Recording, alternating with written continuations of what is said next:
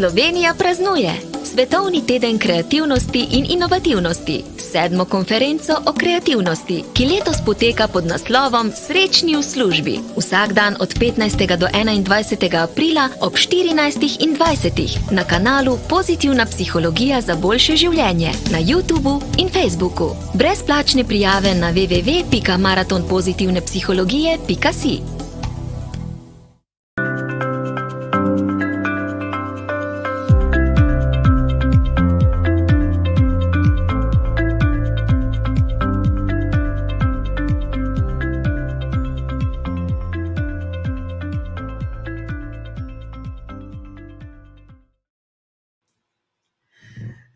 večer, vsi ljubitelji učenja. Kajti, če ste se na petko večer pridružili našem, naši konferenci o kreativnosti, zagotovo imate radi učenje. Danes smo z Blanko nastopili na neki pedagoški konferenci in smo ugotovili, da je edina stvar, ki jo moramo otroke naučiti, je učenje učenja. Uh, tako da hvala, ker vidim, da vam to že dobro gre. Lep pozdrav vsem 98 ljudem, ki nas že spremljate. Dobrodošli vsi, ki ste se nam prvič danes pridružili, in vsi tisti, ki ste že od včeraj dalje z nami. Tole danes je že četrto predavanje na konferenci. Z nami bo psihologinja in psihoterapeutka Petra Lepoša s temo kako poskrbeti za to, da naši notranji viri ne postanejo ovire. Všeč mi je ta tema zaradi tega, ker ko mi gledamo podjetnike, ne, običajno v medijih vidimo tiste lepe zgodbe, Steve Jobs je naredil to, pa Elon Musk to, eh, in se ne zavedamo, kaj je v zadju. Mene pa te podjetniške zgodbe spominjajo, veš, na kaj Nastja. Se spomniš na, v dokumentarnih serijah tiste želvice, ki se na obali zvalijo, na tisoče jajčec je tam in se vse želvice zaženejo v morje. Vse ne pridejo do morja in tiste, ki ne pridejo, v tistih ne vemo, kaj se z njimi zgodi. Vemo samo, da jih ni več med nami. Eh, in tako me tudi podjetniške zgodbe spominjajo na to, kajti v medijih vidimo samo pozitivne zgodbe, v zadju je pa ogromno enih psiholoških stisk, težav, in se mi zdi prav, da je Petra ravno to prezrto temo prinesla na plan in da bo danes spregovorila o njej. Ja, statistika je dejansko neizprosna. Biti danes podjetnik, je v bistvu živeti v džungli, hkrati pa tudi biti svoboden. Včeraj uh, smo imeli večer ob tej uri tudi enega podjetnika, Janja Pravdiča. In če ga mogoče še niste poslušali, vam ga toplo priporočam, kajti razlagal bo svojo zgodbo iz prve roke. Kot ste mogoče opazili, je ta konferenca sestavljena tako, da ima 12 predavanj ob 2 in ob 8 zvečer, razen za vikend, vikend ob 2, le preživite nekje na lepšem, če morkoli rečete lepše. In predavanja, ki so ob 2, so malce bolj namenjena tistim, ki so zaposleni, da jih lahko gledajo v službi, predavanja, ki so pa ob 8, so pa malce bolj namenjena majhnim, mikro in samostojnim podjetnikom, zato da jim pomagamo, kot si rekla, da viri ne postanejo ovire, ampak da lahko se razcvetijo preko tistih svojih najboljših in najlepših vrlin. In kdo ve, mogoče kdo od njih postane tako velik in pomemben, kot je recimo podjetje Epilog. To je bilo podjetje, ki se je razvilo iz majhnega podjetja in je danes naš glavni celoviti podpornik. Najlepša hvala epilogu, hvala tudi zavarovalnici Triglav in Telekomu Slovenija, ki znata podpirati majhne, mikro in samostojne podjetnike. Hvala tudi podjetju Rezult, ki se je razvil iz majhnega podjetja, pa podjetju AMZS, Lek Novartis, Salus in Geni Sonce. Vsi ti so omogočili, da lahko vi danes to predavanje in to konferenco poslušate, gledate, se učite, urite in rastete brezplačno. V medijih pa besedo širijo delo, medija, marketing in pa podjetnik.net. Hvala vsem. Uh, in ja, vem, zdaj boste rekli, da zdaj pa spet pridejo donacije na vrsto. Ja, z nastjo zmeraj znova uh, promoviramo to uh, krožno gospodarstvo tudi na naših dogodkih in jih namenoma nastavimo na ta način, da podporniki podprejo predavanja, vas pa spodbujava k temu, da vi to pozitivno energijo daste naprej v obliki svojih donacij izbranim dobrodelnim organizacijam. Tokrat smo skladno s poslanstvom konference izbrali dve dobrodelne organizaciji. Pravna mreža za varstvo demokracije je prva, in pa ekologi brez meja, ki se bori za čisto okolje, je druga. V komentarjih boste našli način, kako na preprosto in enostavno nakazati sredstva na njihov TRR. Uh, najlepša hvala. Ne, naj vam ne bo škoda tega denarja. Veste, da če bi bila to konferenca, bi imela ceno strokovne konference, kar je več kot so naši maratoni pozitivne psihologije. In mogoče lahko zaradi tega tudi vi naklonite malo več časa in malo kakšen evro več, kot bi sicer. Uh, Rada pa bi povedala pravzaprav še nekaj drugega, kajti začela so se vrstiti vprašanja o potrdilih. Malce prej sem pogledala, za pretekle tri predavanja smo izdali 706 potrdil za enkrat in vemo, da običajno samo tam nekje vsak četrti, peti človek prosi za potrdilo, tako da to nam približno pove, koliko ljudi si je do zdaj že ogledalo te zadeve. Če morda želite potrdilo, da ste poslušali to predavanje tudi vi, Bodite pozorni, kajti v komentarju, v četu, na Facebooku in YouTubu se bo pojavil link. Kliknite na njega, pravilno ga izpolnite in v roku do petih delovnih dni boste dobili na svoj e-naslov potrdilo kot neko dokazilo, da ste se dejansko izobraževali. Teda potrdilo je bolj za druge, pomembnejše je pa, da ste tukaj zaradi sebe, ker želite sami postati še boljši vodja, še boljši podjetnik in seveda še boljši človek. Jaz pa vas vabim tudi k temu, da uh, pozornost poslušate predavanje in vmes zapisujete svoje vprašanja v komentar. Petra bo z nami in bo po predavanju odgovorila na vprašanja. Torej, dobrodošli. Uh, ja, da ste držali. Ja. Ja, če lahko, če lahko, lepo prosim. Uh, Mar si kdo vmes napiše, joj, ko bi to še drugi poslušali. Mm. Prepošljite jim, prepošljite jim, to je vsa umetnost. Zdaj, ko je to predavanje, prepošli na njihov zid uh, ali pa pojdi na YouTube, vzami tisti link, prepošli ga. Tako da tisti, za katerega bi želeli, da to posluša, prepošljite jim. In pa, če že omenjamo YouTube, če boste tam kliknili, naročite se, boste bolj pogosto obveščeni, ne da iščete, kdaj in kje je kaj od to vrstnih vsebin pozitivne psihologije. Tako, zdaj pa mislim, da smo končali z dobrodošlico uh, in uh, napnimo ušesa in glave in srca in uh, dajmo se učiti z Petro Lepoša.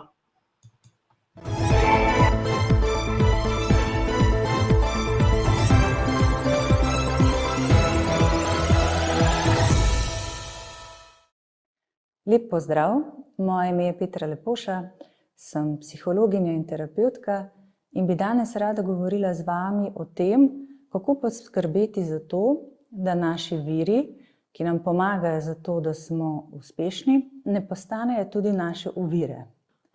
Zdaj, to je tema, ki bi jo lahko prenesli na različna področja našega delovanja, pa vendar se želim v svoji um, današnjem predavanju usmeriti predvsem na podjetnike, na podjetnike in izzive, s katerimi se soočajo podjetniki.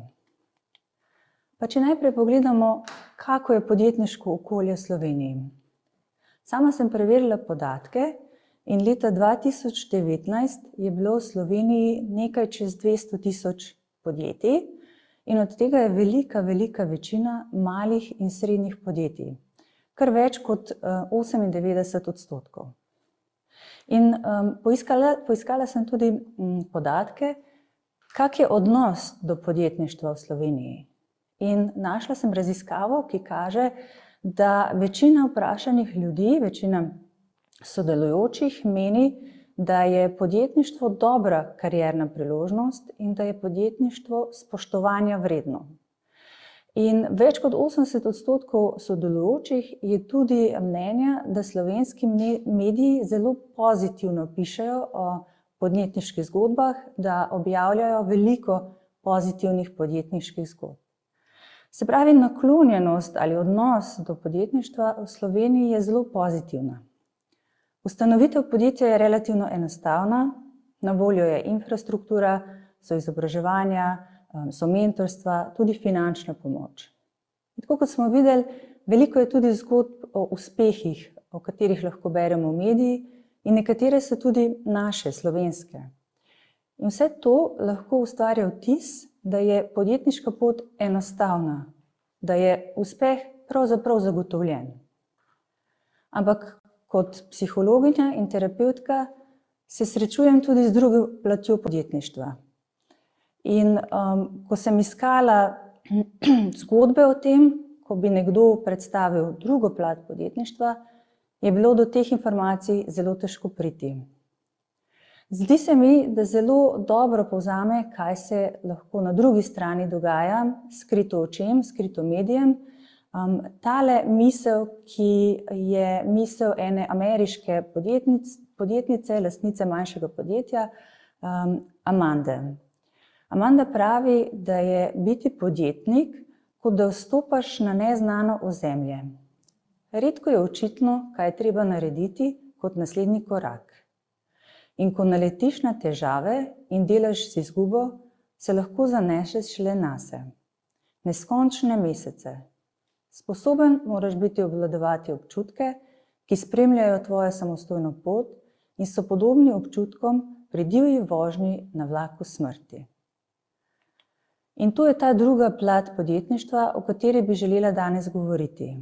Kajti ta plat, kot sem omenila, pogosto ostaja skrita, in ti notranji boji ne dobijo prostora v medijih, ne dobijo prostora v javnosti. Zato bi z vami danes želela deliti več informacij o tem, um, zakaj so podjetniki lahko še posebej ranljivi, kako pride do tega, da naše notranji viri postanejo naše ovire, in seveda deliti tudi informacije, kaj lahko sami naredimo za to, da to kolesje, to divjo vožnjo na vlaku smrcu, smrti tudi nekoliko ustavimo. Kako pogosto pa so psihološke težave pri podjetnikih? Do teh informacij je zelo težko priti. Morda je pomenljivo to, da za slovensko okolje podatkov o tem, raziskav, ki bi to preverjali, nisem našla. Eh, našla sem raziskave iz tujine, nekaj jih je iz Evrope, nekaj jih je iz Amerike, iz Kanade. In kar je značilnost teh raziskav, je, da so vse narejene na relativno majhnem vzorcu. Eh, in našla sem še neke vzorce, ki se pojavljajo pri teh raziskavah. In sicer to, da novejša kot je raziskava, eh, več psiholoških stisk odkriva pri podjetnikih. In drugi vzorec, ki sem ga opazila, je ta, da raziskave, ki so bile narejene v Evropi, govorijo o manj psiholoških stiskah pri podjetnikih, raziskave iz Amerike in iz Kanade pa govorijo o več tovrstnih stiskah. Um, veliko raziskav se je osredotočalo na to, da primerjajo psihološke stiske pri podjetnikih in pri menedžerjih. Moja pozornost pa je pritegnila raziskava, ki je iz leta 2015, sicer iz ameriškega okolja, ampak primerja psihološke stiske pri podjetnikih in pri ljudeh, ki niso podjetniki, se pravi, ki so zaposleni v podjetju. In v tej raziskavi so podjetnike in nepodjetnike spraševali, kako, kako pogosto, oziroma če so se vse enkrat v življenju srečali z eno od psiholoških stisk, kot je anksioznost, depresija, hiperaktivnost, bipolarna motnja ali zloraba kakih substanc. In zanimivo je, da so v primeru podjetnikov kar v 48 odstotkov primerov ti odgovorili, da so se vsaj enkrat v svojem življenju srečali s tovrstnimi težavami. Za razliko od nepodjetnikov, kjer je bilo tovrstnih težav v 32 odstotkov primerov. Potem so v raziskavi preverjali tudi, kako pogosto so se najbližji družinski člani srečali s katero od teh težav vsaj enkrat v življenju. In v primeru podjetnikov vidimo, da so najbližji družinski člani v 23 odstotkov primerov prav tako poročali o tem, da so vsaj enkrat doživljali katero od teh psiholoških stisk. Na drugi strani je pri nepodjetnikih bilo v primeru družinskih članov takih samo šestnajst odstotkov. In če pogledamo podatke skupaj, lahko vidimo, da v primeru podjetnikov se ti v dvainsedemdeset odstotkov primerov posredno ali neposredno soočajo s psihološkimi težavami, s psihološkimi stiskami. Medtem ko je odstotek pri nepodjetnikih veliko manjši. Zdaj, razlogi za to so lahko različni. lahko so podatki kažejo tudi na različne dejavnike okolja. Ampak nekako podlage za to, da bi podjetniki resnično lahko bili bolj nekako ranljivi za psihološke težave, obstajajo. Danes bi rada govorila o tem. Ampak preden začnemo ali pa preden gremo pogledat, kaj so neki razlogi za to, zakaj so podjetniki lahko bolj ranljivi, predlagam, da začnemo na začetku. Pri tem, zakaj se nekdo sploh odloči, da se z nečim ukvarja, da nečemu posveti svojo svoj čas, svojo energijo, torej pri motivaciji. Zdaj, najbolj enostavno rečeno bi lahko motivacijo opisali kot željo, da nekaj naredimo. In da karkoli zaključimo, izpeljemo do konca, potrebujemo motivacijo. In močna notranja motivacija, se pravi notranji vzgib, da želimo nekaj narediti, je zelo pomemben vir, ki nam pomaga, da smo pri svojem delu potem tudi uspešni. In kako pravzaprav pride do oblikovanja motivacije? Če pomislimo na otroke, pa recimo stare tam dva, tri, štiri let, in in so ti odraščali v nekem dovolj dobrem okolju, lahko prepoznamo, da vsi otroci imajo eno željo, radovednost, igrivost, da spoznavajo stvari, da jih preizkušajo, da se učijo, se pravi, torej se že rodimo z nekim notranjim vzgibom, da nas določene stvari pritegnejo, da se želimo učiti, da smo radovedni. Na to motivacijo pa kasneje v našem življenju vplivajo različni dejavniki. Jaz sem jih v grobem razdelila na dve skupini. In sicer na eni strani imamo spodbude in pozitivne izkušnje, na drugi strani pa imamo omejitve in pomanjkljivosti. In ta dva skrajna pola odzivov okolja oblikujeta zelo različno notranjo motivacijo. Obe sta pa lahko zelo močni. Pa če pogledamo najprej, kako spodbude in pozitivne izkušnje vplivajo na oblikovanje motivacije. če si predstavljamo otroka, ki se loti neke dejavnosti, ki ga pritegne, ki ga zanima, in ob tem naleti na pozitiven odziv svojih staršev, ga ti spodbujajo, ga pohvalijo, dajo konstruktivno povratno informacijo, ko vidijo, da mu nekaj gre, nekje pa potrebuje še usmeritve in nadaljnje učenje. In ta otrok dobi izkušnjo, da je pri stvareh, ki ga zanimajo, lahko tudi dober.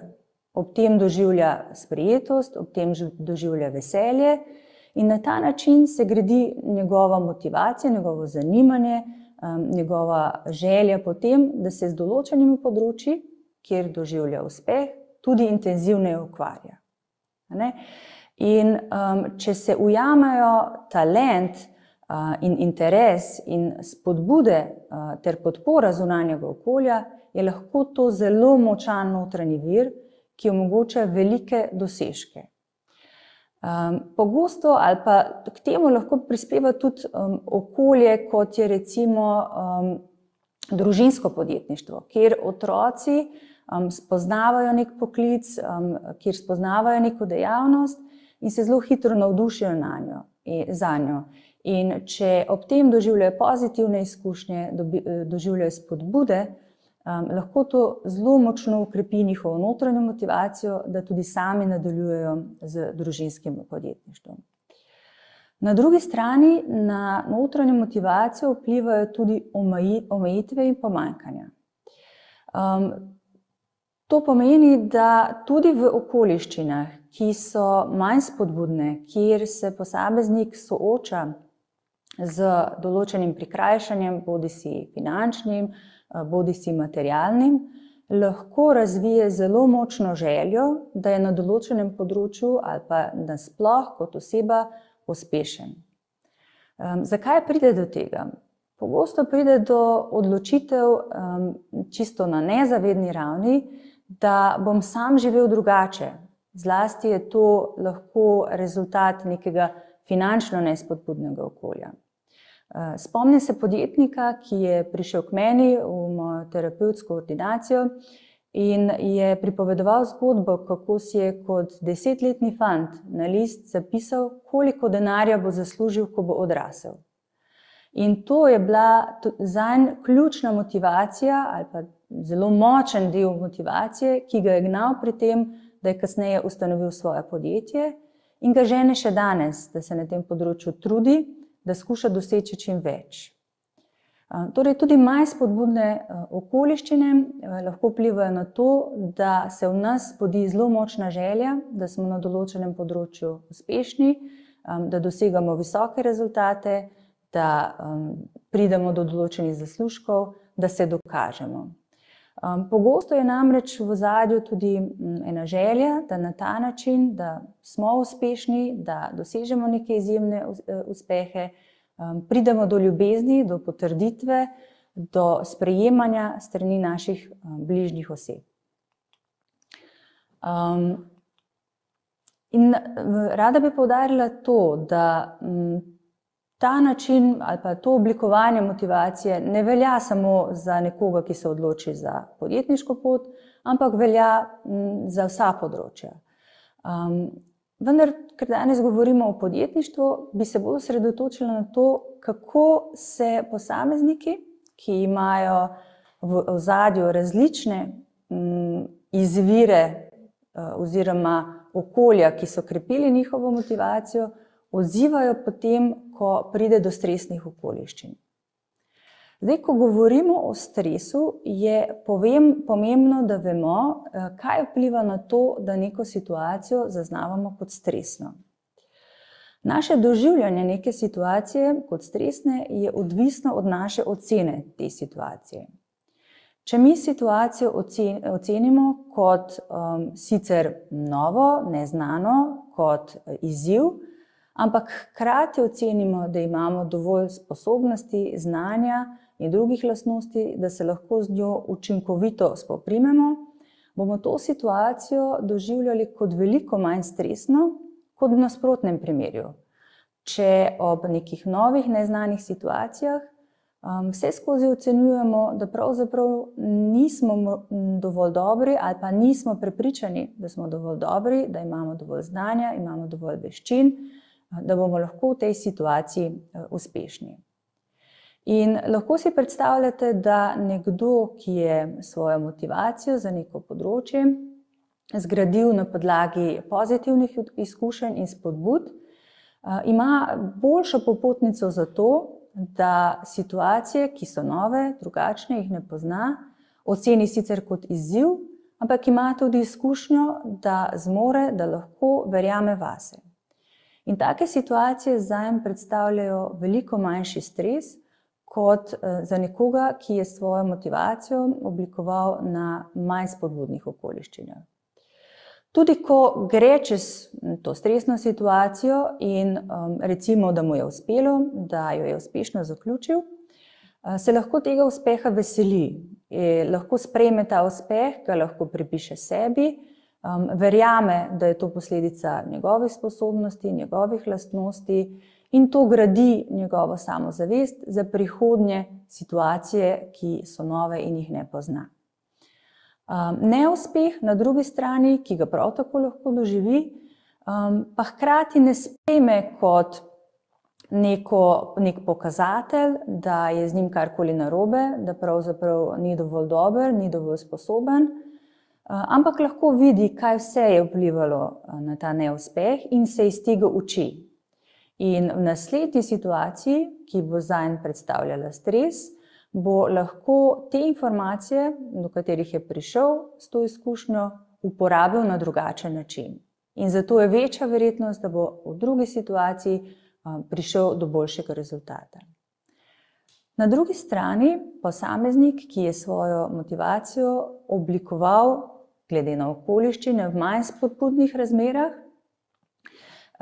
bolj verjetno v novih situacijah, neznanih situacijah podvomi vase.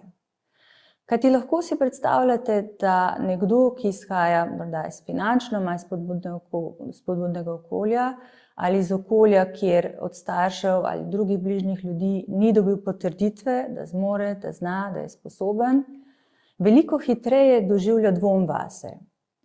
In če smo rekli, da je uh, ocena neke situacije kot stresne, odvisna od tega, um, kako mi ocenimo svoje sposobnosti, um, da zmoremo to situacijo obvladati, lahko razumemo, da taka nova situacija za nekoga, ki je svojo motivacijo oblikoval v manj spodbudnem okolju, predstavlja veliko večji stres. Hitreje ali pa bolj verjetno je, da pomisli, da ne bo uspešen, da se lahko stvari zalomijo. Ampak nekoga, ki ima močno notranjo motivacijo, to ne ustavi. Kljub temu, da dvomi vase, da nekje globoko čuti, da je velika verjetnost, da ne bo uspel, da ni dovolj dober, da, um, bo, da se bo moral zelo, zelo potruditi, ga to ne ustavi, ampak je pripravljen ta trud, to energijo vložiti in posvetiti temu, da vendarle uspe, da se vendarle dokaže, da vendarle doseže svoj cilj, veliko, veliko napora. In zaradi tega stresne situacije za te ljudi predstavljajo veliko, veliko večje breme, vzamejo veliko več energije. In kar je še zanimivo, tudi če so uspešni, če je bil rezultat um, dober, so situacijo uspešno obvladali, um, je manjša verjetnost, da bojo uspeh za to pripisali sebi, Veliko krat ga pripišajo zunanjim dejavnikom ali temu, da so se pač zelo potrudili, da so, potrud, da so vložili veliko eh, energije, da so se povsem posvetili tej nalogi. In če bi ta svoj trud, prizadevnost kakorkoli zmanjšali, verjamejo, da bi uspeh bil veliko manjši. In če pride do neuspeha, na drugi strani um, krivijo sebe, um, krivijo svojo um, slabšo Eh, slabše sposobnosti, zmožnosti, in je to za njih dokaz, da niso dovolj dobri, da se niso dovolj potrudili, da niso vložili dovolj uh, energije v to. In um, to pomeni, da se v naslednjo um, to vrstno novo situacijo podajo z enako količino um, stresa, dvoma vase, in zopet ta od njih zahteva veliko količino energije. In na ta način lahko pride do, ne, do nečesa, čemu sama pravim paradoks uspešnosti. Na eni strani nam motivacija, ki smo jo razvili v manj spodbudnih okoliščinah, zaradi katere smo se pripravljeni zelo, zelo potruditi, vložiti zelo veliko energije v to, da je um, tokrat drugače, da se dokažemo, um, da smo dovolj dobri, da smo lahko uspešni, da smo lahko sprejeti strani drugih. Um, ta motivacija nam lahko do določene mere zelo pomaga, da smo uh, uspešni, ampak hkrati, ker povzroča veliko stresa, ker vedno znova doživljamo iste stiske, se pravi, se na podlagi uspehov ne učimo, um, da pravzaprav to govori o naši uspešnosti, učinkovitosti, o tem, da smo dovolj dobri pride do paradoksa uspešnosti. In to pomeni, da v dosežek vlagamo vedno več energije, um, vedno več truda, vedno več uh, časa, uh, in zaradi tega nas naši notranji viri, ki so nam do določene točke pomagali, da smo bili zelo uspešni, začnejo postajati naše ovire. Ker namreč um, toliko energije uh, ob uh, zelo stresnih situacijah uh, pomeni izčrpavanje. In pogosto se zgodi to, da uh, ti podjetniki niti ne prepoznajo, um, da pravzaprav um, jih te njihove notranje viri začnejo vleči navzdol. Pogosto pridejo na um, terapijo šele zaradi nekih zunanjih spodbud. Um, zato, ker imajo težave z zdravjem, zato, ker imajo težave v odnosu ali kaj tretjega. Um, Zakaj pa so podjetniki lahko bolj ranljivi? Kaj je tisto, kar vpliva na večjo ali pa povzroča večjo ranljivost podjetnikov? Sama nekako vidim tri ključne dejavnike. Prvi dejavnik, in zdi se mi, da je tudi najmočnejši, je povezan z večjo količino, večjim številom izpostavljenosti stresnim situacijam. Druga, drug pomemben dejavnik je podvrženost osamljenosti. In tretji pomemben dejavnik je močan pritisk zunanjega vtisa. Pa poglejmo vsako posebej bolj podrobno. Zdaj, o stresu sem že prej govorila, na kak način se posamezniki, ki imajo um, motivacijo oblikovano v različnih okoljih, naj odzivajo. In um, za nekoga, ki ima motivacijo oblikovano na podlagi pozitivnih izkušenj, pozitivnih povratnih informacij, Tako kot smo videli, velika količina stresa ni tak problem. Problem nastane, če ima nekdo eh, svojo motivacijo oblikovano na področju manj spodbudnih, eh, eh, če njegova motivacija izhaja iz manj spodbudnih okoliščin. Kajti strinjali se boste verjetno, da biti podjetnik pomeni biti v veliki negotovosti, Eh, imeti veliko odgovornosti, tako za lastno preživetje, kot za preživetje ljudi, ki so morda pri nas zaposlenih.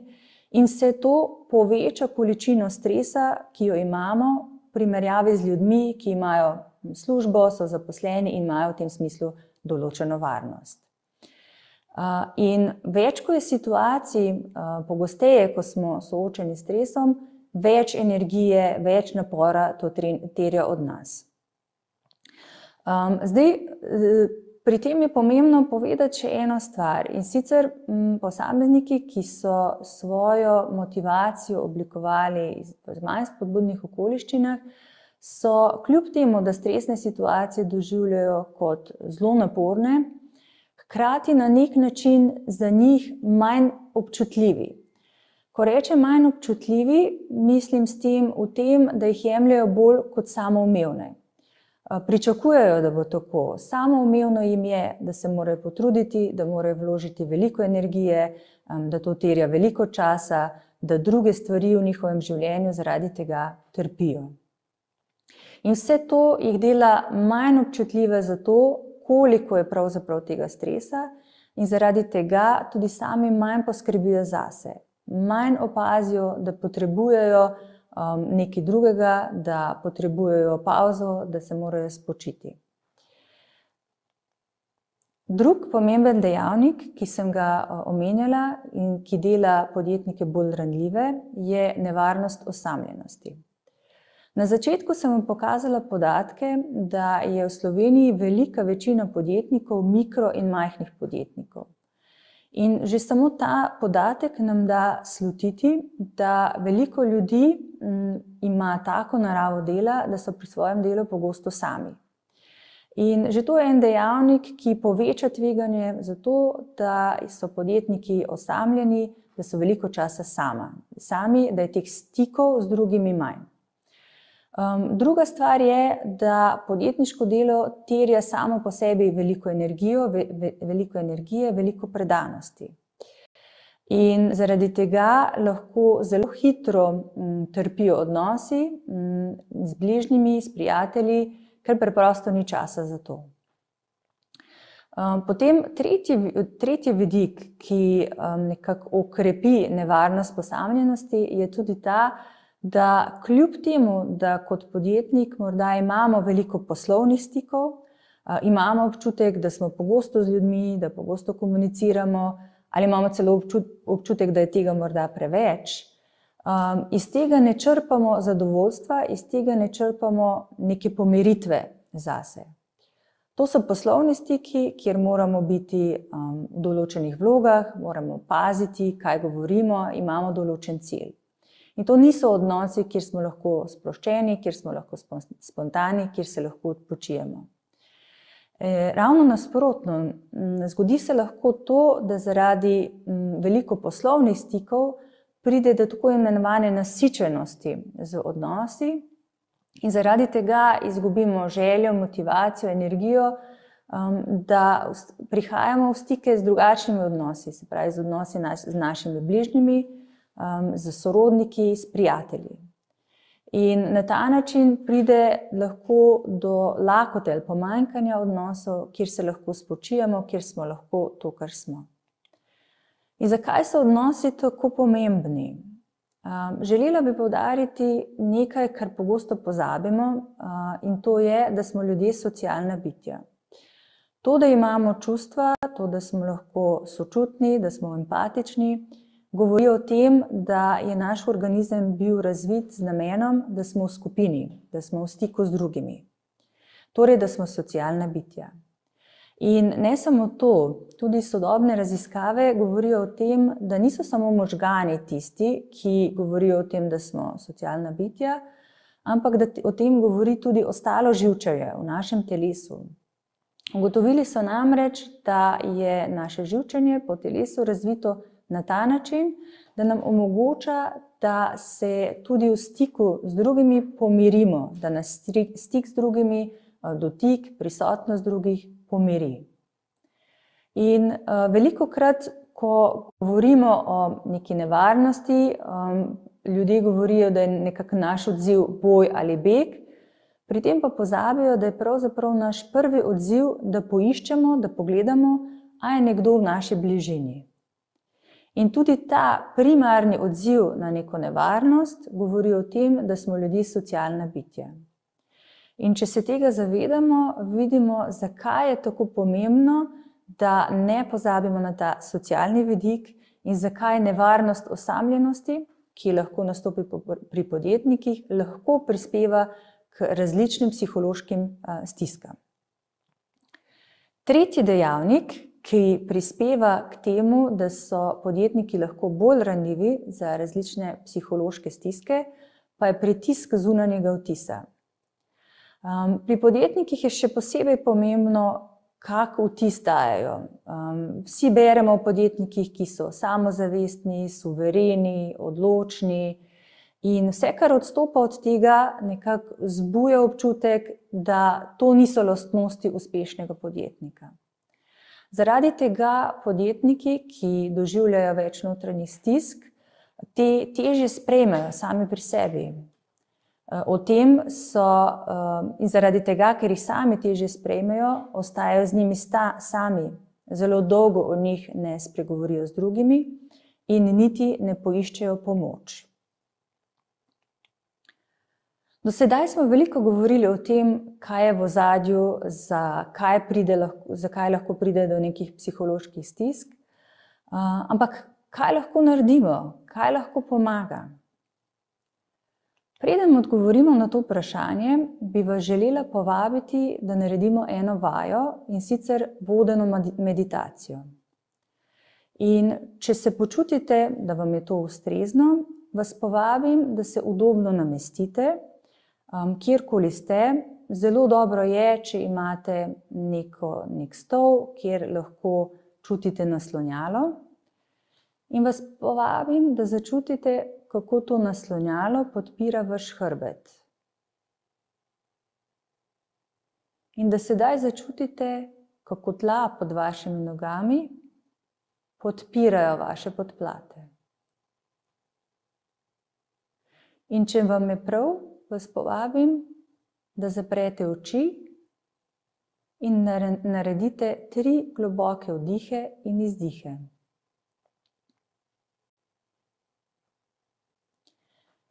In sedaj usmerite svojo pozornost navznoter. Zaznajte, kakšne misli, občutki, čustva se znotraj vas pojavijo.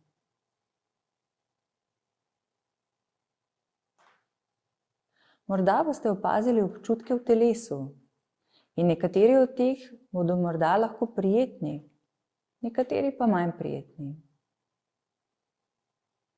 Morda boste zaznali eno ali pa več čustev.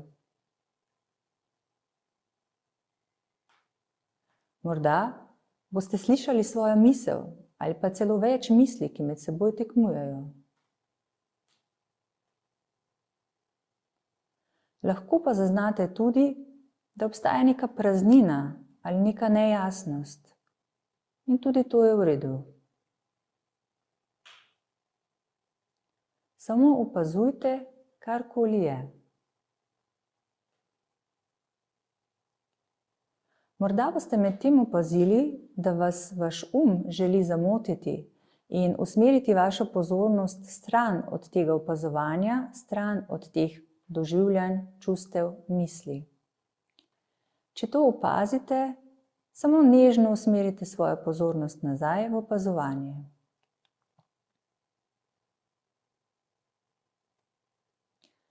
Skušajte sedaj biti radovedni glede vsega tega, kar opažate. Kaj vam to, kar zaznavate, sporoča? Če bi lahko ti občutki govorili, kaj bi želeli, da veste?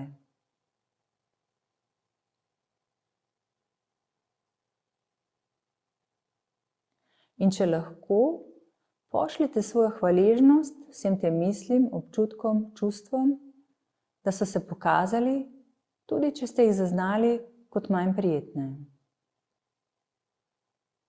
In opazujte, kako se odzivajo na to.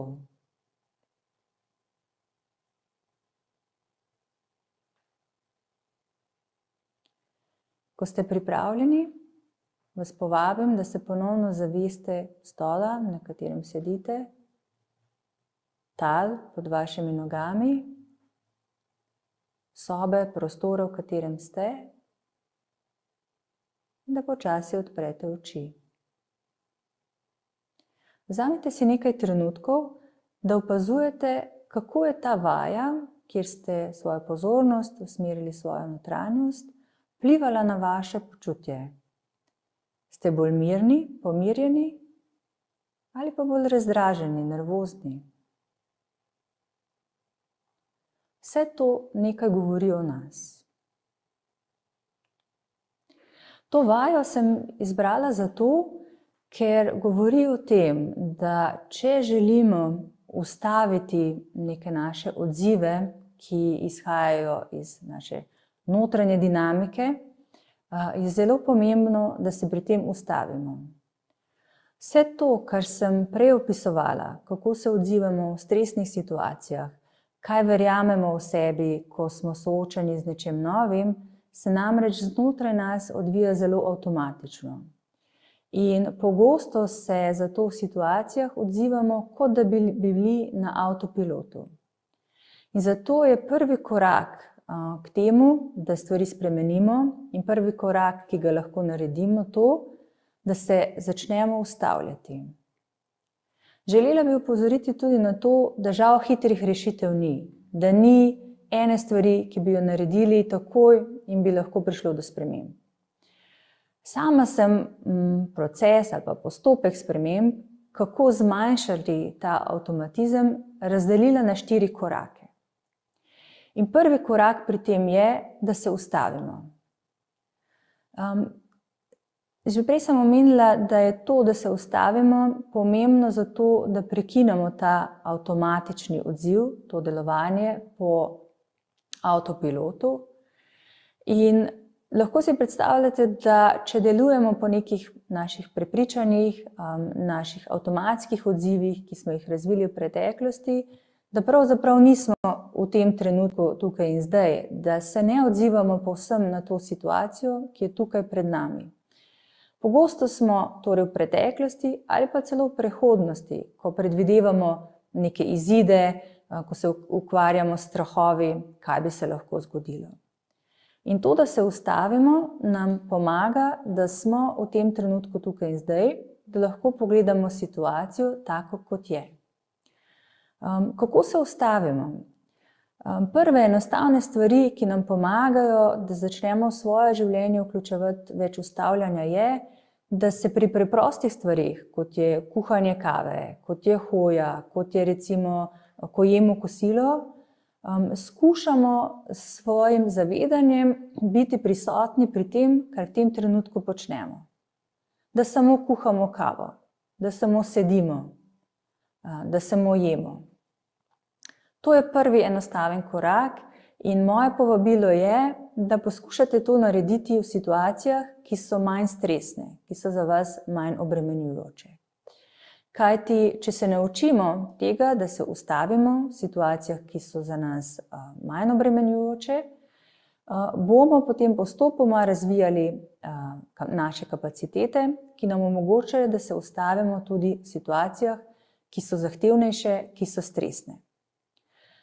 To, da se ustavimo, lahko naredimo tudi na ta način, da v svoje vsakodnevne aktivnosti vključimo zelo kratek čas, lahko so to tri minute, lahko je to pet minut, ko ne počnemo nič, ki so namenjene samo nam.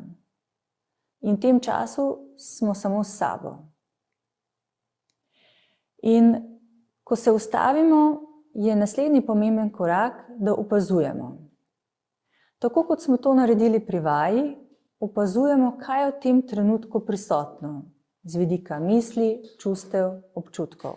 Um, vse to nosi namreč pomembno informacijo. Pogosto se zgodi, da naš analitični um, um, prevzame glavno besedo, da povozi občutke in doživljanje, ki, v, ki so v telesu. In s tem, ko opazujemo, potem, ko smo se ustavili, damo besedo tudi tem vidikom našega doživljanja, se pravi čustvom in občutkov. Poleg tega, s tem, ko se ustavimo, naredimo razdaljo, spostavimo distanco do naših misli, da jim ne verjamemo avtomatično, da jih ne vzamemo za nekaj, kar absolutno velja, ampak jih najprej samo zaznamo. Se pravi, če se pojavijo misli, moram narediti popolno, moram biti hiter, moram narediti nekaj izvirnega, povsem novega, neverjetnega. Jih v takih situacijah, ko si vzamemo čas, samo opazujemo, zaznamo, prepoznamo, da obstajajo. In uh, mogoče ste kot podjetnik ali tudi sicer šli na kako izobraževanje o komunikaciji. Um, samoumevno se nam zdi, da um, gremo uh, na tečaj komunikacije, um, da se naučimo, kako se sporazumevati z drugimi. In maj samoumevno se nam zdi, da rabimo tak trening, kako komunicirati sami sebi, sami sabo, tudi zase. In s tem, ko se ustavljamo, ko se opazujemo, naredimo podlago tudi za to, da se začnemo drugače pogovarjati sami sabo. Naslednji korak je namreč, da raziščemo in sprejmemo to, kar se dogaja. Rekli smo, da vse to, kar se dogaja znotraj nas, nosi pomembno informacijo. Lahko o tem, kako doživljamo trenutno situacijo, lahko o tem, kaj se je dogajalo v preteklosti. Zato je koristno, ko se ustavimo, da si postavimo vprašanja, kako znani so nam ti naši odzivi v podobnih situacijah. Kdaj v preteklosti je bilo to zame pomembno, kdaj v preteklosti je bilo to zame res, da sem se moral tako potruditi, da sem mogel biti popoln, da sem mogel biti hiter, da sem mogel zaslužiti toliko in toliko denarja. In lahko se tudi vprašamo, kaj vse te misli, doživljanje, občutki skušajo dobrega narediti za nas. In na ta način, z razumevanjem, da imajo neko dobro funkcijo, da želijo nekaj dobrega za nas, jih tudi lažje sprejmemo eh, in damo možnost, da nas manj obremenjujejo, izvajajo manj notranjega pritiska, saj jih vidimo kot najboljšo možno rešitev, ki smo jo sprejeli kot odziv na pretekle situacije. In ko sprejmemo to, kar se znotraj nas dogaja, um, ko vidimo v tem kot najboljšo možnost, um, ki izhaja iz preteklosti, nam da to nekaj distance, da lahko na situacijo pogledamo na tak, na tak način, kot je, takšna, kot je sedaj. In to nam omogoča, da namesto avtomatičnega izvi, eh, odziva izberemo odziv, ki je bolj ustrezen. Kaj nam lahko tukaj pomaga? Pomagajo nam lahko vprašanja, kot so, kaj je danes pravzaprav res? Kaj bi rekel modri del mene na vse to, kar se znotraj mene dogaja, na vse te misli? Kaj bi bilo, če bi tokrat poskusil drugače, kot na način, ki mi ga govorijo moje misli ali moje občutki? Kaj bi bil najboljši možen odziv na trenutno situacijo? Pri tem bi vas želela upozoriti, da niste preveč zahtevni do sebe, da um, nekako sprejmete, da vse te stvari so se znotraj nas oblikovale vrsto, vrsto let. In tudi zato, da jih lahko ustavimo, da lahko delujemo drugače, potrebujemo čas. Ampak tudi tukaj velja, da večkrat kot poskušamo, večkrat kot naredimo drugače, bolj uspešni bomo tudi v zahtevnejših situacijah in situacijah nasploh. In še eno povabilo, da če opažate neke notranje stiske, notranje boje, ki so vam nekoč služili, pa vam zdaj ne služijo več, je prav in ni prav nič narobe, če poiščete pomoč. Um, zdaj, lahko boste rekli, da uh, je vse to fajn, ampak ob vseh teh vaših obveznostih, ki jih prenese podjetništvo, nimate časa. In da ukvarjanje s sabo pomeni še več dela, še več obremenitev. In da lahko to pomeni, da boste izgubili pomemben posel, um, pomemben čas, ki bi ga sicer namenili razvoju, novim poslovnim idejam. Lahko da je to res, ampak moj odgovor je, da če nadaljujete na ta način, kako bo izgledalo vaše življenje čez pet let? In ali vam je všeč to, kar vidite? Hvala za vašo pozornost in želim vam veliko uspehov na vaši podjetniški poti.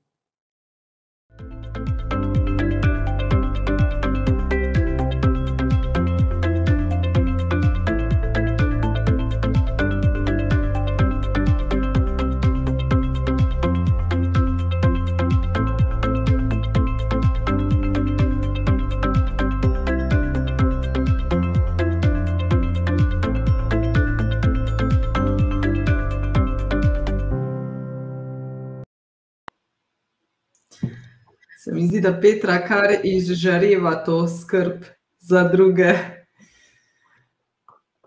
Nastja, malo si samo tako, ja, naštima, evo, evo, je malo odrezalo.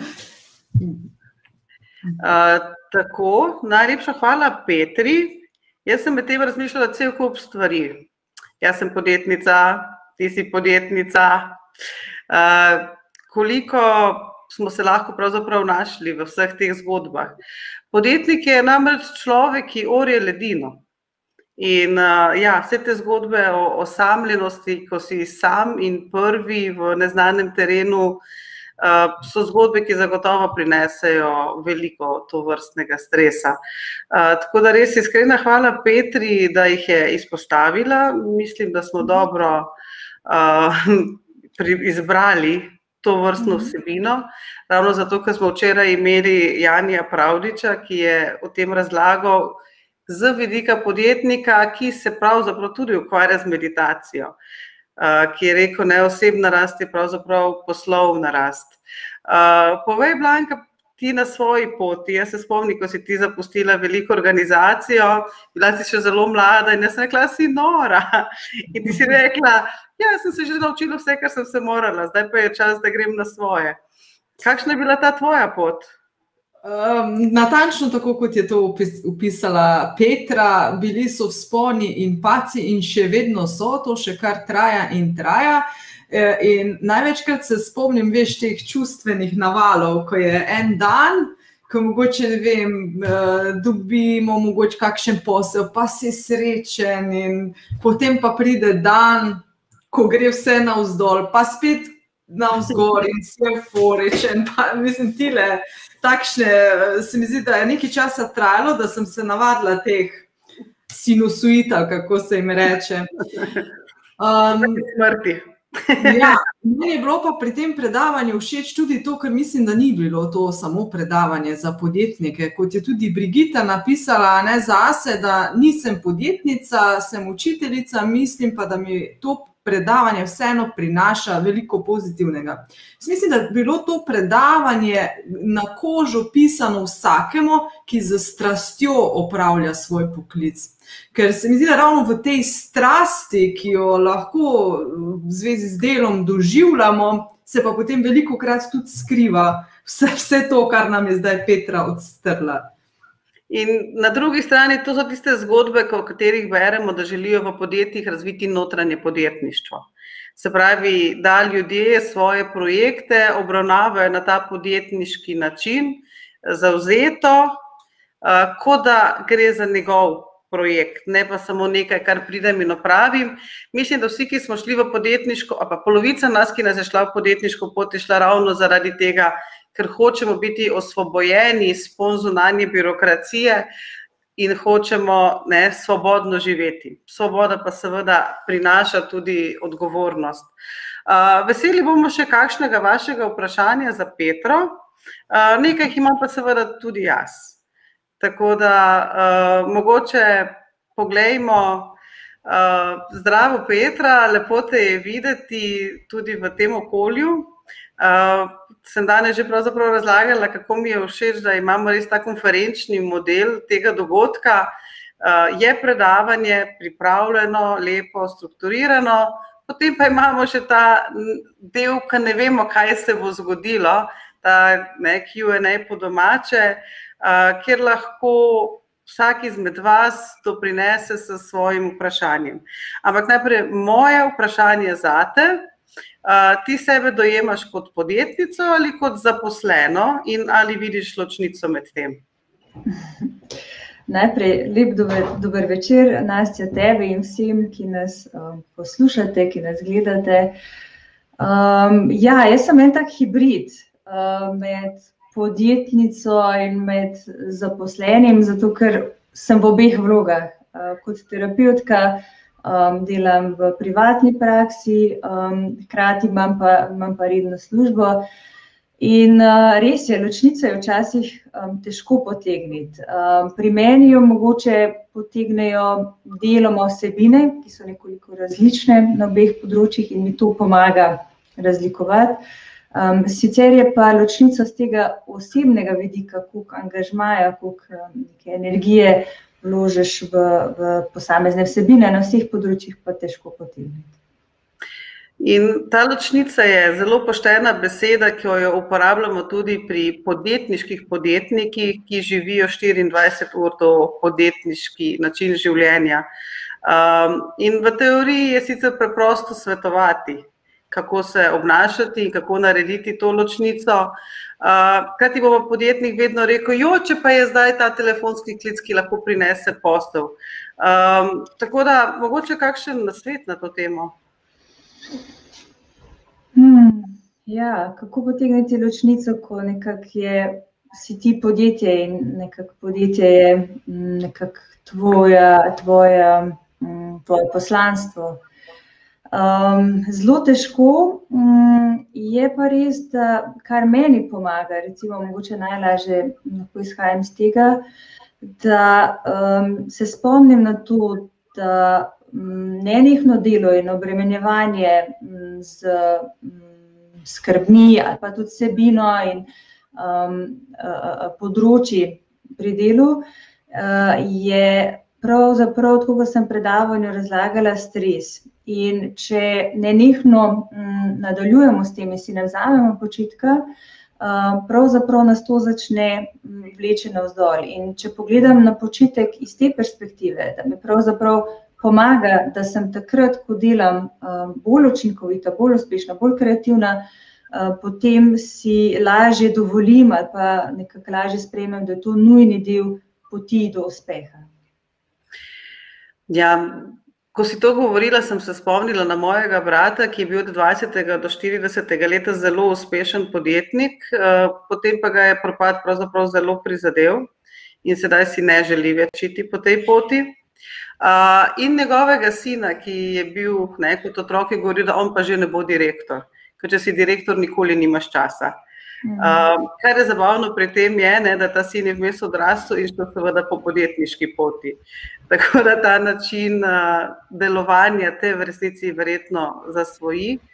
Um, kakorkoli pa, recimo pa, ker dosti naših uh, gledalcev danes pa bomo rekli, neko te rekla Brigita, je učiteljica.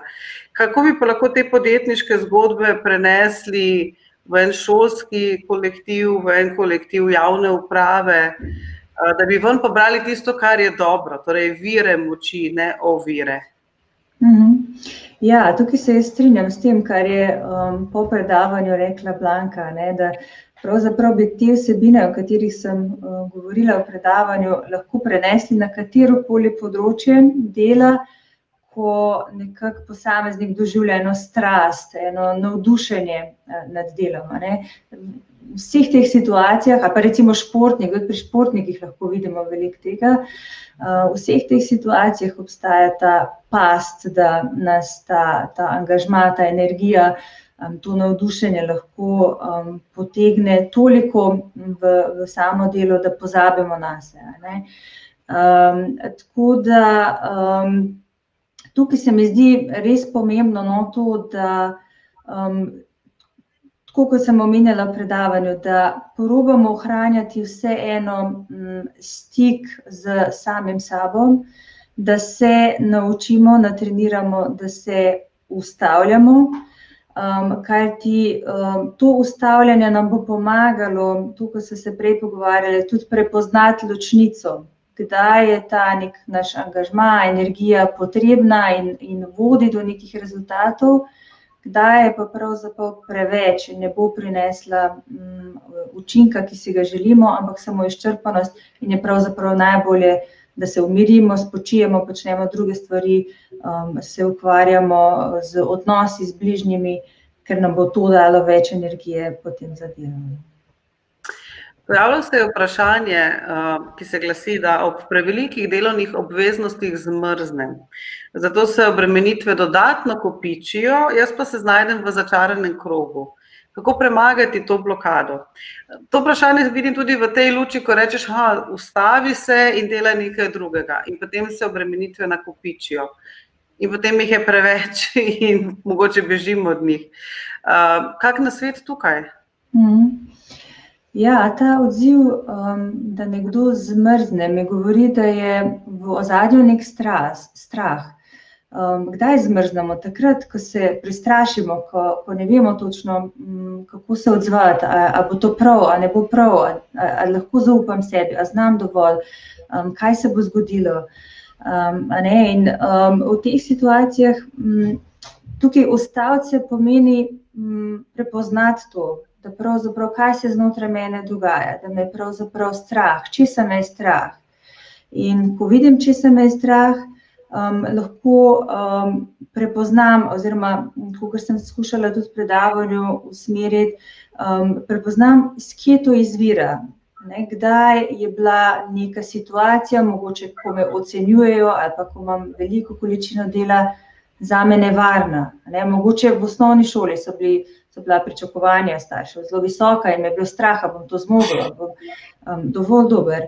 In je fajn v teh situacijah, da se ustavimo, zato da se potem tudi spomnimo številnih situacij, ko pa smo bili uspešni do sedaj, do, do vse svoje odrasle dobe, uh, ko nam je uspelo, ko smo bili v podobnih stresnih situacijah in smo jih v redu speljali um, da se spomnimo, da imamo tudi druge vire pomoči, da mogoče ni treba, da sami vse upravimo, in um, kaj, so, kaj so neke poti, kako si lahko še pomagamo.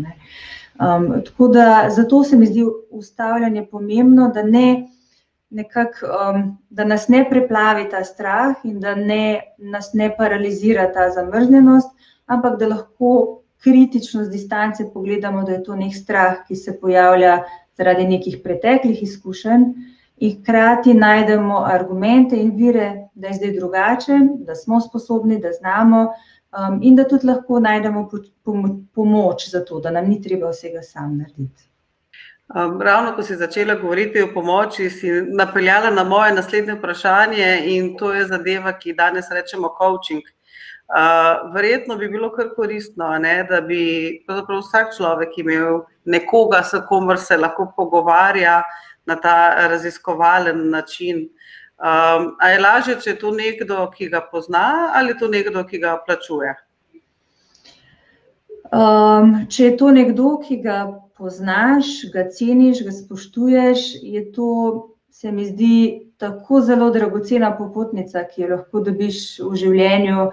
Um, ko si razlagala sicer o svojem bratu, si mogoče osvetlila ta vidik, ki je, um, ki je mogoče pri, pri sinu tvojega brata pustil um, nekako um, en, en manj pozitiven pogled na, na podjetništvo, ampak hkrati verjamem, da je tvoj brat dal tudi veliko uh, pozitivne spodbude, veliko znanja, veliko izkušenj temu svojemu sinu. Tako da, če imamo nekoga v svojem okolju, bližnjem ali pa mal daljš, da, širšem, ki nam je lahko ta nek mentor, je to v bistvu zelo dragoceno. Če tega ni, potem je um, druga zelo dobra možnost, da poiščemo nekoga, da pač plačamo to pomoč. Um, ampak v vsakem primeru mislim, da se splača in da s tem res lahko veliko pridobimo za svoj razvoj.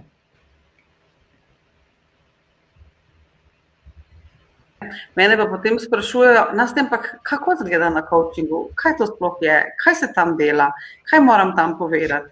Pa mogoče zdaj imamo priložnost, da povemo, kako izgleda, ko ima človek svojega coacha in ko ima to svojo coaching uro. Ja, jaz mogoče, ko delam coachinge, sem okužena s tem svojim terapevtskim uh, pristopom. Tako da verjamem, da so moji coachingi mogoče malo drugačni, malo bolj terapevtsko obarvani. Uh, v vsakem primeru pa tudi v terapiji se ljudje sprašujejo, kaj, kaj, kako zdaj terapija izgleda, kaj zdaj moram govoriti, kaj lahko, kaj ne smem. Ne?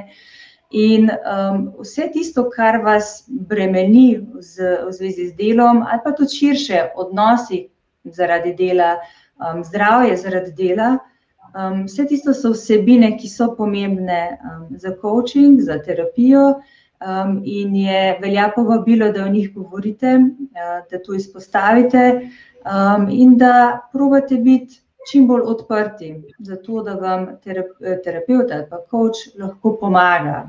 Um, tako da ni pravila, kaj je prav in kaj je narobe, samo ena radovednost um, in odprtost za to, kaj se mi dogaja, in pripravljenost za razvoj.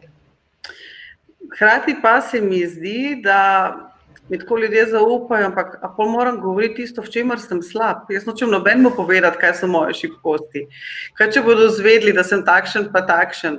Ne? In uh, potem sem nekoč, mi, ne, ni tako nekoč, no, nedavno mi je razlagala prijateljica, pa sem se pa raje kar delala malo fino pred njo, veš. to verjetno ni preveč učinkovito, a ne? Težko nam nekdo pomaga, če ne pokažemo to, kje nas boli, kje nas žuli. Tudi, ko gremo k zdravniku, če ne bomo iskreno rekli, da tukaj me boli, ali pa um, ne vem, delal sem to in to, um, ne vem, nosim visoke pete, zdaj že vem, deset let in um, mislim, da bi to lahko vplivalo, ali pa karkoli, um, nam bo zdravnik težko pomagal. Uh, in podobno je pri terapeutu, podobno je pri koču. Če nismo iskreni, če ne izpostavimo um, nekako te stvari, ki nam ne grejo, um, jih bomo težko spremenili. In koč ali pa terapeut sta um, profesionalno zavezana prvič k molčečnosti, um, drugič pa k temu, da um, pomagata po svojih uh, najboljših močeh. In nekako um, ni namen, da nekoga kritizirata ali nekako uh, gledata kot pravzaprav nesposobnega, ker govori o nekih svojih um, um, šibkih plateh, mogoče ali pa manj močnih plateh. Um, ampak pravzaprav to vidite kot močno stran posameznika, da je o tem pripravljen uh, spregovoriti, um, biti ranljiv. Uh, in uh, je to ena dragocenost, ki jo terapeuti in koči cenimo. Tako da z tega vidika ljudje ne rabijo biti v zadregi, um, kaj si bo drugi mislil o njih, uh, kako jih bo videl. Kako pa veš, eh, kdo je dober, pa kako dolgo naj hodim? Ker to je pa še ena zgodba, ki mi jo razlagajo. In tako hodim tja in hoče, da vsakič pridem in samo denar mi jemlje. Tako da, se kdaj konča obiskovanje coachinga ali um, je to samo tako, še nekdo, ki pobira tvoje odstotke tvojega trdega dela? Uh -huh. Um, ja, tako na coachingu, kot um, na terapevtskih urah, uh, ko, ko mene to vprašajo, odgovorim, da je edini kriterij, um, kdaj zaključijo s terapijo ali pa s coachingom, je njihova subjektivna ocena. Ko oni ocenijo, da so dosegli spremembe na področjih, ki jih želijo, da se počutijo drugače, da delajo drugače, se vedejo drugače um, in so s tem zadovoljni. Mm, potem je to mm, dovolj dober kriterij, da lahko zaključijo. Res pa je, da smo terapeuti in koči kdaj tudi ogledalo. In včasih, ko nekdo želi zaključiti, pa se mu zdi, da je to že dovolj dobro, um, opozorimo tudi na stvari, ki jih mogoče sami še vidimo. Ampak spet odločitev je v rokah posameznika in vedno lahko reče, ne, to je za me dovolj. To je legitimno odločitev. Um, tako da jaz odgovorim na ta način, da je v bistvu edini kriterij subjektivna ocena, da je to to, kar sem želel doseči. Da si miren in da se čutiš, da se lahko zaneseš na sebe. Mhm. Uh, mimo grede, uh, svetovna statistika pravi, da je 80 odstotkov podjetij propade v roku petih let. Ne, temu reče moj oče, uspeti ni normalno. Um, kakšen nauk bi lahko potegnili iz te številke, zato da bi lahko ljudem pomagali, da gredo naprej, ne, v skladu z tistim, sometimes you fail and sometimes you learn. Mm, mm. Ne, sometimes you win and sometimes you learn, tako se reče. ja, ravno to, kar si rekla, da pravzaprav neuspehi so del razvoja, da pravzaprav iz tega se učimo, rastemo. Um, verjamem, da tudi tisti, ki niso uspeli, je to za njih zelo dragocena izkušnja. Um, bolj dragocena, kot če nikoli ne bi poskusili. Um, tako da, tudi če ne uspemo, pa da smo probali, smo si dali možnost in vemo, da ok, to ni naša pot, ne bo šlo po, tej, uh, po teh stopinjah ali pa po tej poti. Um, ampak smo vse probali. Tako da um, je nekako moja popotnica, da ne gledamo na neuspeh kot na nekaj usodnega, nekaj, um, kar govori o nekih naših nesposobnostih, o neki um, naši um, ne vem, neustreznosti, uh, ampak samo na izkušnjo, um, na katero se učimo, kot si rekla, in uh, gremo naprej. Sem se spomnila, ko mi je nekoč razlagal en američan, da je z lahkoto dobil kredit za svoje sedmo podjetje. Ker so rekli, o, vam je že šest podjetij propadlo, u, zdaj ste se pa že vsega naučili. Mm. Ne, to je tako noro, optimistična zgodba, ki pri nas verjetno še ni tako zelo pogosta, mm. ker nekako nam ne dovolijo, da nam prvič, drugič, tretjič, četrtič, petič in šestič uh, ne bi uspeli.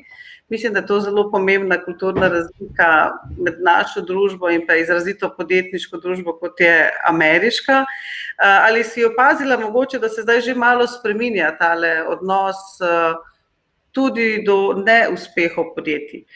Rekla si sicer, ne, da si pogledala, da vedno bolj se spoštujejo tudi podjetniki. Um, Ampak mi bi radi videli, da podjetnik ni samo tisti za bleščečim avtom, ki nas skrivaj prekupčuje, in tudi ni nekdo, ki je pač pogumno poskusil in mu ni uspelo. Uh, se pravi, kako bi lahko pomagali, da bi okolica sprejemala tako uspehe kot neuspehe podjetnika? Mm. Um, tukaj mogoče bi se navezala na, na šport. Um, meni se zdi zelo pogumno in dragoceno, kadar športniki spregovorijo o nekih svojih stiskah, o nekih bolečinah, skozi katere so šli, recimo ali kot športniki ali potem po zaključku kariere, in s tem detabuizirajo te teme in podobno se mi zdi za podjetništvo. Več kot bomo govorili o tem, kolikokrat je nekomu ne uspelo, preden mu je uspelo, ali da mu je ne uspelo na nekaterih področjih, pa mu je potem na nekih tretjih področjih uspelo, bolj bo to nekako postalo kulturno sprejemljivo in manj bomo nekako strogi in kritični do sebe in drugih, da neuspeh pomeni, pomeni nekaj usodnega in nesprejemljivega. Ja, hvala ti za to, tako da, če imate zraven sebe nekoga, ki mu je prvo podjetje propadlo, se spomnite, da temu rečemo, ni mu še uspelo, se je pa naučil več kot tisti, ki ni nikoli poskusil. In tudi zato smo tako poudarjali včeraj pri Janiju, da je serijski podjetnik. Ne, se pravi, gre iz enega v drugega v tretjega. Še eno stvar bi mogoče opozorila, vezano na okolico. Nedavno je krožil po Facebooku en post, ki je govoril, ko, ne vem, Angelina Jolie da ven parfum, ga vsi kupijo, ko ne vem, katera zvezda da svoj proizvod, ga vsi kupijo, ko ne vem, kateri športnik da ven svoj izdelek, ga vsi kupijo. Ko pa tvoj sosed naredi nekaj novega in da to na trg, pa se sprejemajo stave, kdaj, mu, ne, kdaj bo propadel. Uh, tako da dajmo obrniti pogled, uh, mogoče kak stavek za okolico, za sorodnike, za prijatelje, za kolege svežih podjetnikov, da ne bodo samo sprejemali stav, kdaj bo propadel, oziroma zahtevali, ah, mi dva se poznava, da jim je zaston. Uh, Um, kako bi lahko spreobrnili torej tisti, ki so v rednih varnih službah, da bi za večjim spoštovanjem in sprejemanjem imeli tisti, ki so se pogumno odločili za svojo pot? Mm. Ja, pomislila sem na to, ko si o tem govorila, da ko gledamo otroka in tam poskuša hoditi, poskuša metati žogo, poskuša um, voziti skiro, nam niti na kraj pameti ne pade, da bi mu rekli, mm, ne bo ti uspelo, ali pa kdaj boš spet padel, ali pa um, kdaj boš spet zgrešil žogo. Tam se zavedamo, da ta način ni nekaj, kar spodbuja razvoj, kar spodbuja um, nekako motivacijo ali pa željo nekoga, da raziskuje, da se razvija. In dajmo se spomniti tega tudi pri kolegih, sorodnikih, znancih, ki začenjajo z podjetniško potjo, um, da um, nekako, če jim želimo dobro, če nekako um, želimo v bistvu tudi s tem sebi dobro, kajti če je v okolju veliko uspešnih podjetnikov, to deluje stimulativno na vse. In zato ne šparajmo z spodbudnimi besedami, in raje šparajmo z kritiko. Lepo povedano. Jaz sem našla raziskavo obrtne zbornice iz novembra lanskega leta, kjer piše, da je dejavnost moralo zapreti v teh korona časih kar 40 odstotkov obrtnikov, 71 odstotkov pa jih je moralo bistveno omejiti svoje poslovanje. Glede na to, da je to konferenca o kreativnosti, je pravzaprav ta dogodek namenjen njim kaj ti v težkih okoliščinah, verjetno nimamo drugega, kot da razmišljamo, kako bi lahko še kako dače. Imaš kakšno izkušnjo z tega področja? Um, osebno izkušnje bom rekla, da nimam. Zdaj, kot, kot um, terapeutka sem naredila minimalno spremembo v teh um, okoliščinah, samo to, da so šla um, srečanja v živo na uh, srečanja nadaljavo. Um, spremljam pa z interesom, zanimanjem odzive različnih gostincev. In moram reči, da sem nad odzivi nekaterih in kreativnostjo, um, do, nekak, ki je prišla do izraza v teh okoliščinah, um, tako prav navdušena. Ne? Da niso šli v neko pritoževanje, uh, v neko stokanje, kako je hudo, kako je težko, ampak so šli iskati načine. In Um, recimo, imam v mislih e, eno, eno restauracijo, ki se je pač odločila, da bo dostavljala hrano. Ne? Čeprav je to hrana, ki je um, tako uh, a la carte, um, so začeli razmišljati, katero hrano lahko dostavljamo, da je še vedno nekako zanimiva in okusna uh, za ljudi, um, ki želijo nekako nekaj več. In so se odločili, da bodo dostavljali hladne prigrizke. Eh, da bodo um, dostavljali um, biftek in podobno. Torej, iskali so jedi, ki bodo ohranili enako kakovost, kot bi jo dobili v njihovi restavraciji, tudi ko jo bodo dostavili na daljše razdalje. Um, in podobne m, izzive si zadajajo čez celo leto, odkar že trajajo ti uh, ukrepi. Videla sem tudi, da je veliko gostincev šlo v to, da dostavljajo sestavine, recepte, video navodila, kako pripraviti sam hrano. Um, in tem vidim eno kreativnost in nekako eno. Um, nekak žar, da grejo v teh okoliščinah naprej, namesto da nekako obupujejo in um, pač čakajo na, na najslabše. Um, ja, lepo. Torej, poskušajmo še nekako drugače. Mislim, da za to potrebujemo tudi pogum. Uh, najlepša hvala, Petra. Bilo je zelo sistematično in s tem neverjetno navdihujoče, kako bi še lahko. Zelo so te pohvalili za meditacijo, zelo nam je pasala. Je le petek zvečer smo malce utrujeni celotnega tedna. In hvala za vse na svete in izkušnje, ki si z nami delila. Um, tako, jaz bi pa na tej točki povedala našim dragim udeležencem, poslušalcem, da bomo pokrivali še kar nekaj podjetniških tem, Z nami bo v nedeljo zvečer Marjan Patagel, ki je ta trenutek najbolj znan po tem, da vodi, da je oživil postojnsko jamo, je zagotovo vzor pozitivnega podjetništva. In človek, ki tudi verjame v to, da je treba vire in mir iskati v sebi.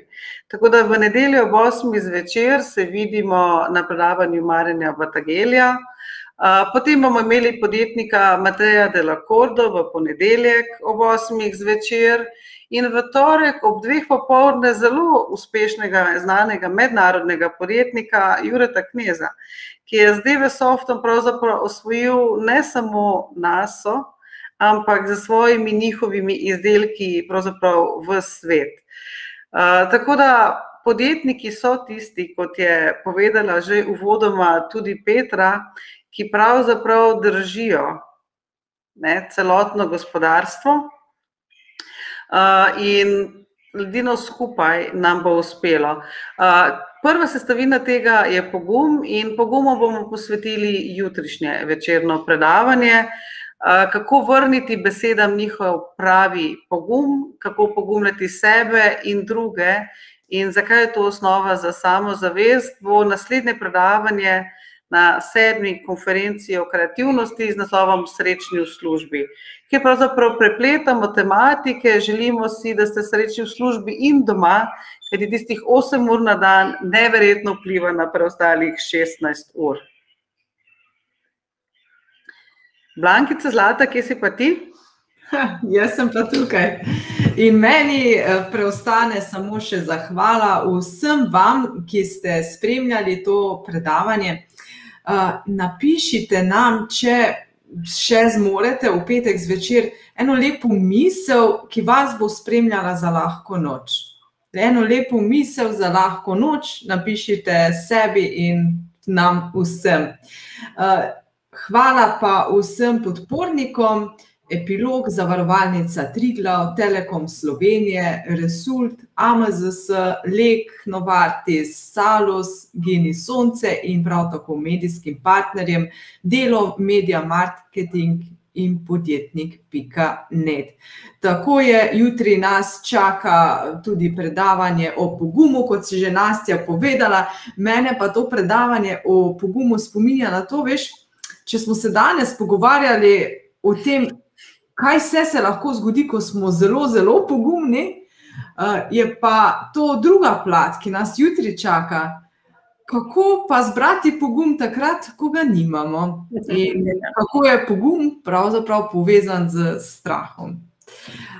hvala vsem, vidimo se jutri zvečer, imejte lep vikend.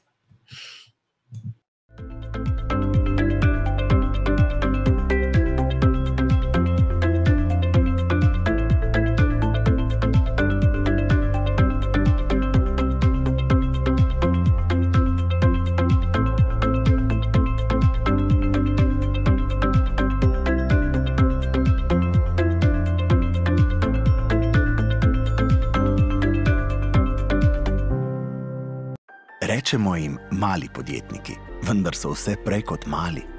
To so ljudje, ki so usodo vzeli v svoje roke in se podali na trnovo pot, tlakovano z neizprostnimi izzivi trga. Morda nimajo velike pisarne, imajo pa veliko idej. Včasih niso ljudje veliko besed, a zato veliko dejanj. Morda nimajo največjega avta, hm, ali pač dobro vedo, kdaj prositi in kdaj biti neizprosen predvsem pa vedo, kako iz malega narediti veliko. Če srečate podjetnika, ki tudi v najtežjih trenutkih verjame vase in v svoje sanje, ter z njimi preživlja družino, ohranja streho nad glavo in gradi kariero, mu nikar ne recite mali. Oni so veliki podjetniki. Veliki podjetniki imajo velike izzive in partnerja, ki imajo enostavne rešitve. Odkrite jih na telekom.si pošiljka podjetniki. Poslujte enostavno, poslujte digitalno. Telekom Slovenije. Slovenija praznuje Svetovni teden kreativnosti in inovativnosti, sedmo konferenco o kreativnosti, ki letos poteka pod naslovom Srečni v službi. Vsak dan od 15. do 21. aprila ob 14. in 20. na kanalu Pozitivna psihologija za boljše življenje na YouTubu in Facebooku. Brezplačne prijave na www.maratonpozitivnepsihologije.si.